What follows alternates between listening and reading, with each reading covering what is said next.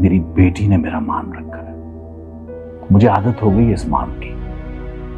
जिस दिन ये मान टूटा समझो तुम्हारे बाप की सांस की डोर भी टूट जाएगी बेटा कैसी बातें कर रहे हो आप?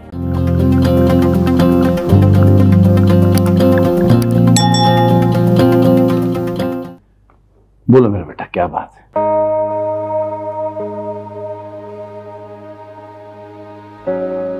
सोच क्या रही हो? बोलो ना।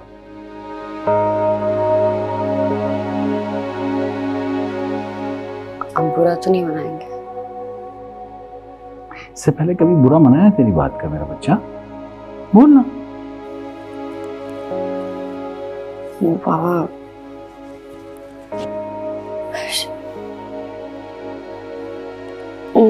मुझे लगता है मैं अभी शादी के लिए तैयार नहीं हूँ। तो ठीक है। कोई इतना बड़ा मसला भी नहीं है। अभी तो खाली मंगनी की है ना, वो कौन सा कल तुम्हें ब्याह के लेके जा रहे हैं? शादी आगे कर लेंगे थोड़ी सी जब तक तुम नहीं तैयार हो जाती, तुम्हें नहीं लगता कि अब शादी हो जानी चाहिए, तब तक नहीं करेंगे भाई, हमारी मर्ज़ी देखो बेटा, एक बात याद रखो अच्छी तरह। ये शादी या कोई भी रस्म, माइयों, मेहंदी, उपटन, जो भी तुम चाहोगे, और जैसे तुम चाहोगे वैसे करूँगा इंशाल्लाह। एक ही तो बेटी है मेरी। उसी की खुशी पूरी ना करूँ तो फिर जैसा तुम चाहती हो वैसे का वैसा ही होगा। तुमने इस रिश्ते के लिए हाँ करके जो मेरा मान रखा है ना मेरा बेटा तुम्हारा बाप भी तुम्हारा मान टूटने नहीं देगा।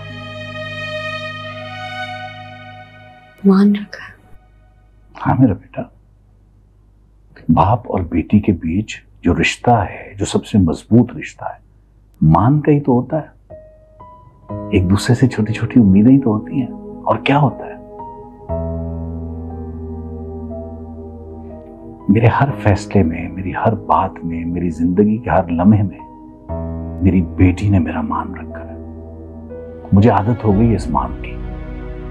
जिस दिन ये मान टूटा समझो तुम्हारे बाप की सांस की डोर भी टूट जाएगी। बेटा कैसी बातें कर रहे हो पापा ऐसे नहीं करते। मेरी जान फ़िक्र ना करो। सब ठीक हो जाएगा अच्छा हो जाएगा। मैं जरा नमाज़ पढ़ लूँगा। ठीक है?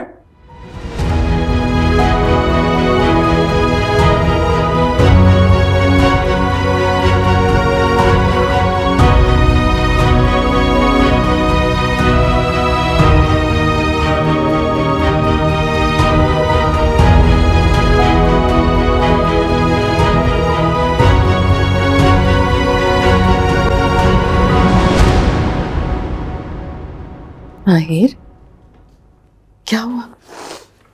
कुछ भी नहीं। बात की अपने मामा से। क्या मतलब है? क्या वो ही बोलते रहे? तुमने कुछ नहीं कहा? क्या कहते नहीं समझ आया कुछ। ये क्यों नहीं कहती कि उनकी ब्लैकमेलिंग में आ गई तो उनकी मोहब्बत के सामने मेरी मोहब्बत गूँगी हो गई मैं क्या क्या कहूँ मैं उनसे? कह रहे थे इतना मान है मुझ पर।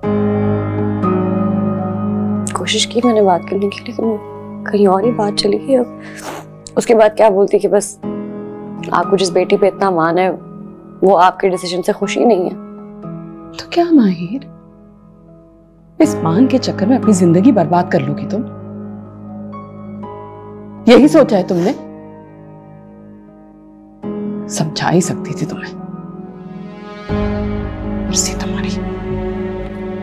क्या करूँ?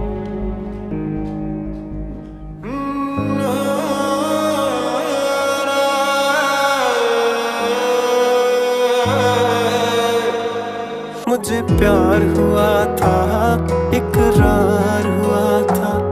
मुझे प्यार हुआ था इकरार